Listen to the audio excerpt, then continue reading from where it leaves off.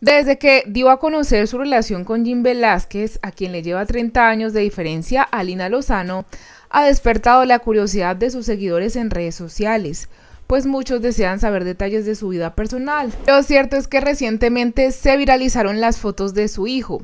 La intérprete de Nidia en Pedro el Escamoso ha destacado por mantener a su hijo lejos de las polémicas, por eso prefiere hablar de él, pero no presentarlo a través de redes sociales o de las entrevistas que ofrece.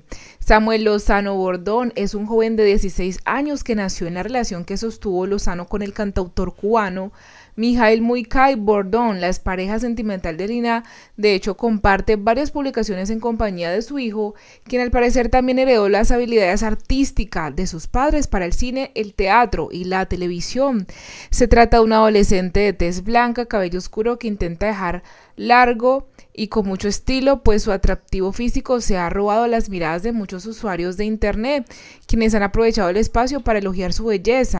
Y gracias a las publicaciones de su cuenta de Instagram en la que recoge más de mil seguidores, Samuel ha expuesto que es un amante de la fotografía, los paseos que involucran contacto con la naturaleza y la literatura. Adicionalmente se muestra muy cómodo con la novia de su padre con la que posan algunas fotografías. Lo que ha resultado curioso para muchos fanáticos de Lozano es que tan solo lleva 8 años de diferencia con Jim Velázquez, lo que ha dividido opiniones en redes sociales. ¿Ustedes qué opinan? Ah, déjenmelo saber en los comentarios.